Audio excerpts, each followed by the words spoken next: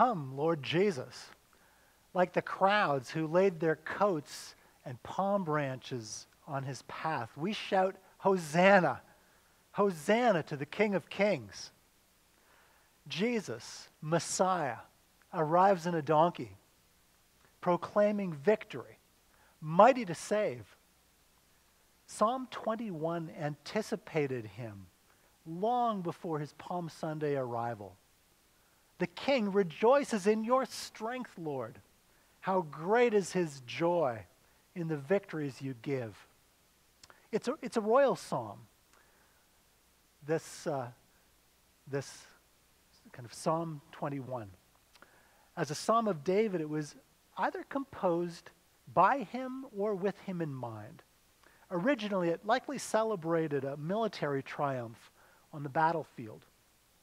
The Lord gets the credit and the glory. His, his people were under threat. We don't know the details of that crisis, but they were in grave danger. And the Lord acted to save them. The king is relieved and grateful. His joy overflows not just for himself, but for his people. Can you rejoice in the strength of the Lord today? His resources are beyond limit, but his power often is, is different than we often imagine. Consider Jesus entering Jerusalem, knowing he will soon be nailed to a cross, hoisted up to die. What strength does the Lord, Yahweh, his heavenly Father, impart to him? How does Jesus draw on his mighty power? Is he already glad, knowing that his pain will lead to victory? Twenty years ago, Pastor Toy Seng traveled to a remote part of northern Cambodia. Most people there practiced Buddhism or traditional spirit worship. Christianity was virtually unknown. One small rural village welcomed Seng with unusual warmth. The people eagerly embraced him and his gospel message. Most didn't waste any time at all accepting Jesus as their Savior and Lord. Seng was kind of blown over by it. It was almost like they'd been waiting for him. And when he questioned them about it, an old woman shuffled forward, bowed, and grasped Seng's hand. She said, We've been waiting for you for 20 years. And then she told him about the mysterious God who had hung on a cross. In the 1970s, the Khmer Rouge, a brutal communist regime, they took over Cambodia, destroying everything in its path. Soldiers descended on this village in 1979 they rounded up the villagers and forced them to start digging their own graves. Now, the people did that. And then, when they had finished, they prepared themselves to die. Some screamed to Buddha, others to demon spirits or to their ancestors. One woman, though, began to cry for help based on a childhood memory, a story that her mother had told her about a God who had hung on a cross. Now, facing death, she prayed to that unknown God. Surely, if he knew suffering, he would have compassion on them. Well, suddenly, her solitary cry became one great wail. The entire village began praying to the suffering God who had hung on a cross facing their own graves, the wailing slowly turned into quiet crying. An eerie silence settled into that muggy jungle air. Slowly they turned around to face their captors, and the soldiers were gone. The old woman told Pastor Seng that since that humid day 20 years earlier, the villagers had been waiting, waiting for someone to come and tell them more about the God who had hung on a cross. Now, that story is told in a book called The God Who Hung on the Cross by Doris Rosser and Ellen Vaughn. The king rejoices in your strength, Lord. How great is his joy in the victories you give. Well, who can fathom the joy of King Jesus, who brings salvation victory to people who desperately need it? when the original Palm Sunday crowd sang praises to him on his way into the city, they had no inkling their Messiah would suffer an excruciating death on a rough cross. He knew it, though. And for the joy set before him, he endured the cross, scorning its shame.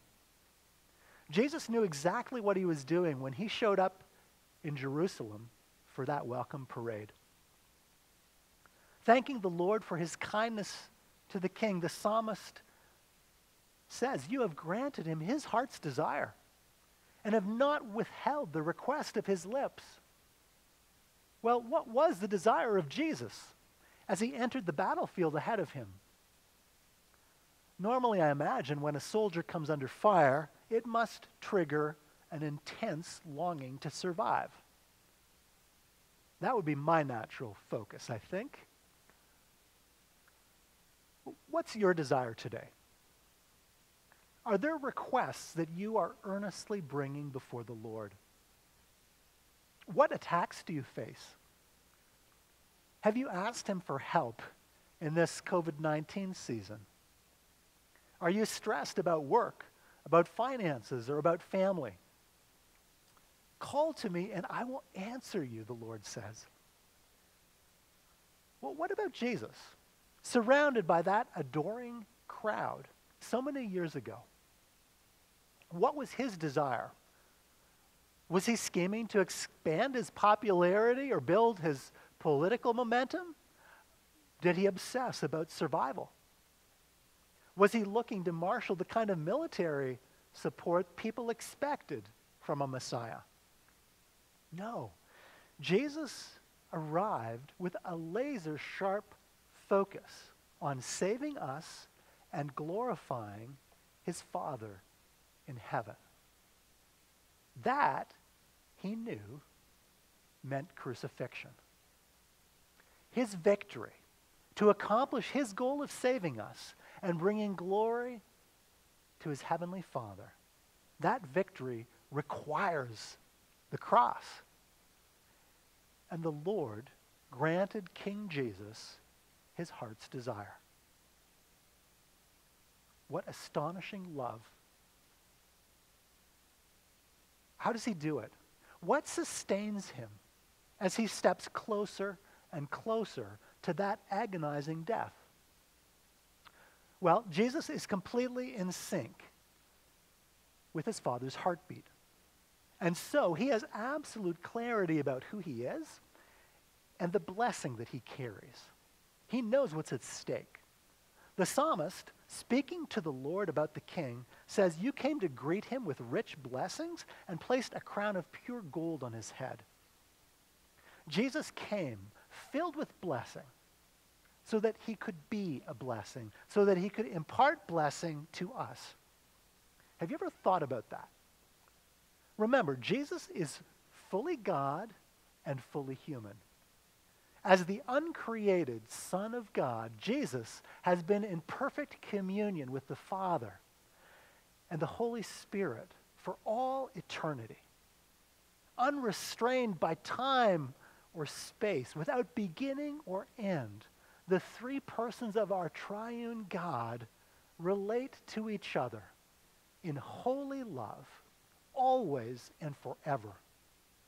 It's vastly more beautiful and compelling than any of us can imagine. As the Father has loved me, Jesus says, so I have loved you. Incredible. It's incredible. Now, when we consider Jesus, the Son of God, giving his life for us on the cross, there's something we easily misunderstand. Because he's God in the flesh, bearing the fullness of deity, there's a danger that we might picture him only as strong, unmovable, invincible, incapable of feeling hurt, rejection, loneliness, or dismay. Crucifixion would not seem like such a great sacrifice then. The old heresy of Docetism claimed that Jesus appeared to be human, but that was really an illusion. And that is not, not only it's a heresy and a lie. Jesus, the Bible testifies, truly and fully walked this earth as a human being. He got tired and thirsty, weak and discouraged. He was tempted in every way, just as we are, the writer of Hebrews tells us. Yet, he didn't sin. Before he was crucified, Jesus was in anguish, and as he prayed, his sweat was like drops of blood falling to the ground. His battle was real, his sacrifice costly. As a man, he had to depend on the Father and on the Holy Spirit for everything. They, in turn, filled him with blessings. Now, what were they? Now, we could hardly name them all, but, but they include, at the very least, they include gifts of relationship, recognition, and spiritual power. You can see this so plainly when Jesus is baptized. As he comes up out of the Jordan River, he sees heaven torn open and the Spirit of God descending on him like a dove. And this voice from heaven says, You are my Son whom I love. With you I am well pleased. So, this is the foundation of his life and his ministry. Jesus carries these blessings of the Father and the Holy Spirit, not just for himself, but to share with us. We, we need these same gifts relationship, recognition, and spiritual power. Last week, an email from Global Disciples told of a Congolese man named Alex. Alex had been born during a civil war, surrounded by instability and conflict. Two of his older brothers were killed by the rebels. Several younger siblings died from illness and malnutrition. Alex and his family fled to Uganda as refugees. Now, his parents were believers, but these hardships had made Alex bitter and angry with God. Looking back, he says, My heart was bruised. My soul was always wanting and filled with questions. I lost hope for myself and for my future. Now, every person has a unique story, of course, but all of us have experienced some bruising of our heart, some dis- dissatisfaction in our soul, and some questions that don't have easy answers. Jesus knows our pain.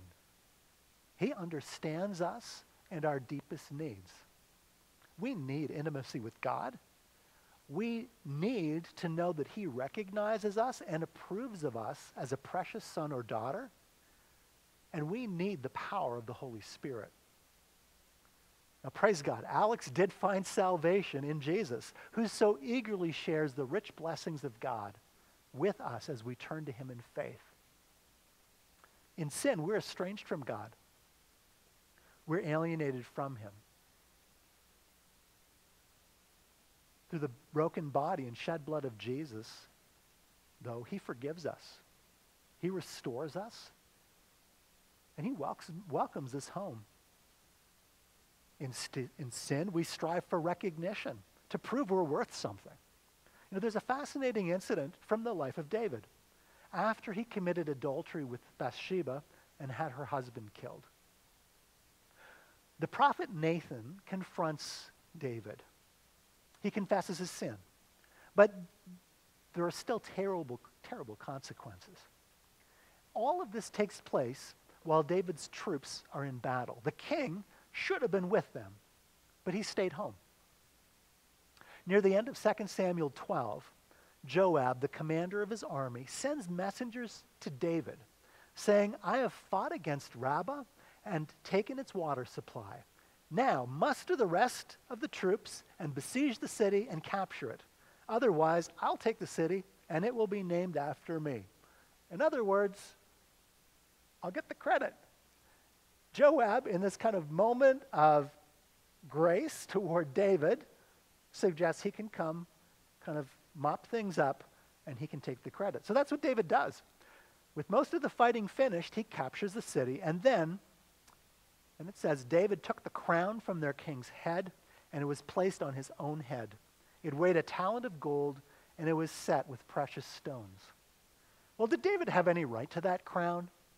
No. Not really. Was, was there any true honor in that trophy? No. No, David was reaching for significance. He was taking credit for a victory that was, had really been won by someone else. How often do we do something like this in, in our brokenness, in our desperation for recognition? How often do we strive to be noticed, to be respected, to be honored? Derek Kidner points out that the value of the crown, spoken of here in Psalm 21, the value of that crown derives from the giver rather than the gold. If the creator of this universe gives you a paper crown, that is far more precious than any gold crown that you could dig up on your own. What does the psalmist say? It says, You, the Lord, came to greet him, the king, with rich blessings and placed a crown of pure gold on his head. What a difference it makes when it is the Lord who bestows the crown. As human beings, we need relationship. We need recognition, and we need spiritual power. But all of our scheming and snatching will only leave us empty, stuck with substitutes and counterfeits instead of the real thing. Jesus longs to share the rich blessings of God with us. The Apostle Paul gives us a glimpse of this in Romans chapter 8. So, in the first part of Romans, he has described the incredible news of the gospel of Jesus, who died for sinners in order to save us. And then, starting in verse 14, he says, For those who are led by the Spirit of God are children of God. The Spirit you received, it's the Spirit we receive as we respond to the gospel of Jesus. The Spirit you received does not make you slaves so that you live in fear again. Rather, the Spirit you received brought about your adoption to sonship. And by him we cry, Abba, Father. The Spirit Himself testifies with our spirit that we are God's children. Now, if we are children, then we are heirs, heirs of God and co heirs with Christ. Through faith in Jesus, we are adopted into His family, where we find relationship, where we find recognition and where we find spiritual power, just as we need. King Jesus does not steal his crown. His father places it on his head. Charles Spurgeon observed that in his suffering, Jesus wore the thorn crown, but now he wears the glory crown. Because he is blessed, we are blessed.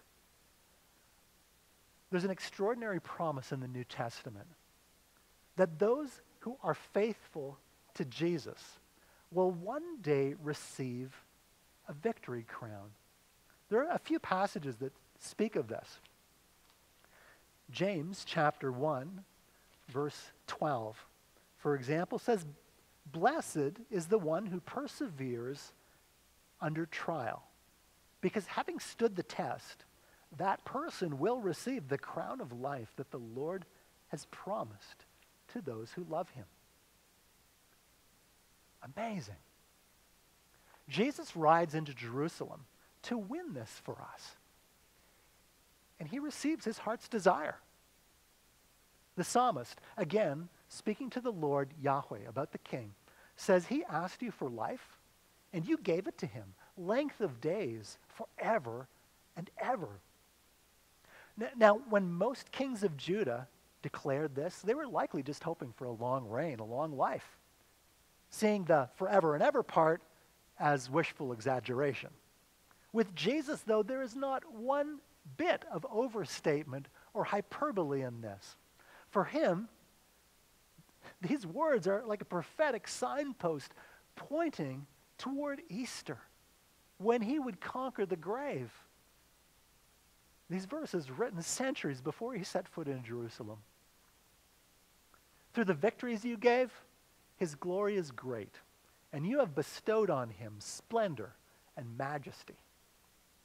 On Palm Sunday, Jesus is still facing the cross. He knows that, but even as he enters the city, it is a victory parade. Many cannot see it yet, but this humble carpenter rabbi from Galilee who gets hungry, who gets dusty and sweaty, just like the rest of us, he arrives with the glory, the splendor, and the majesty of the Lord Almighty.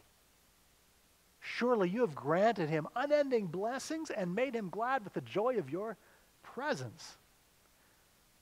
Jesus Christ, our Savior, is the wellspring of blessing. Blessing that is overflowing, abundant, and everlasting. His gladness is for you. The joy he shares with the Father and the Holy Spirit is for you. I don't know what this past week has been like for you emotionally. We're in the thick of COVID 19 upheaval and uncertainty. You may be feeling isolated, discouraged, anxious, or unsure. You know, the gap between where we are and where we want to be can sometimes seem so huge. Like, like that massive chasm between the darkness of the cross and the dawn of resurrection morning. Still, Jesus says, Remember, I am with you always to the end of the age. That includes today. Jesus is leading the way. For the king trusts in the Lord. Through the unfailing love of the Most High, he will not be shaken. It says in verse 7 the king trusts in the Lord.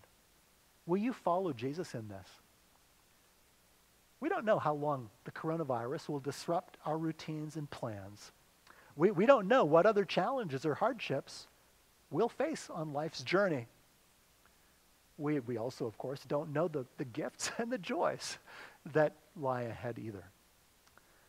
When Jesus enters Jerusalem, he has his eyes on a prize far greater than anyone else around him can see. He's not there for a quick, cheap, temporary victory. Jesus has eternity in mind. Will you let him lead you deeper into the unfailing love of the Lord Almighty? Will you follow him there? So Psalm 21 begins with a celebration of victories already won, salvation already secured, rich blessings already given. Today, as we look back on the life, death, and resurrection of Jesus, we each have a choice to make. Will I accept his reign? Will I trust him? Will I submit to him? Will I obey him as Messiah and Lord? Because then, as, as we do that, his victories, the salvation won for us on the cross, and all of his rich blessings become ours, become yours, become mine. Now, the psalm isn't finished. Commenting on the next verses, Gerald Wilson observes that the presence of God is a two edged sword. For those who trust in him, God brings, vic- brings blessing and salvation, while for the rebellious who resist his rule, God's coming means judgment. The kings of Judah did battle with so many human enemies, but verses 8 to 12 describe an overwhelming triumph far beyond the scope of any human king. Your hand will lay hold on all your enemies. Your right hand will seize your foes. When you appear for battle, you will burn them up as in a blazing furnace. The Lord will swallow them up in his wrath, and his fire will consume them. You will destroy their descendants from the earth, their posterity from mankind. Though they plot evil against you and devise wicked schemes, they cannot succeed. You will make them turn their backs when you aim at them with drawn bow. The Lord, in His mercy, does not want any to perish. That is why Jesus died such an agonizing death to save sinners. We live in the time of God's patience. He is giving time now for the gospel to do its work, giving time for the church to proclaim the message of salvation giving time for his enemies to kneel voluntarily in faith before Jesus, our Savior. But this season will not last forever. Writing in Second Thessalonians chapter 1, the Apostle Paul describes a time still to come when the Lord Jesus is revealed from heaven in blazing fire with his powerful angels. He will punish those who do not know God and do not obey the gospel of our Lord Jesus.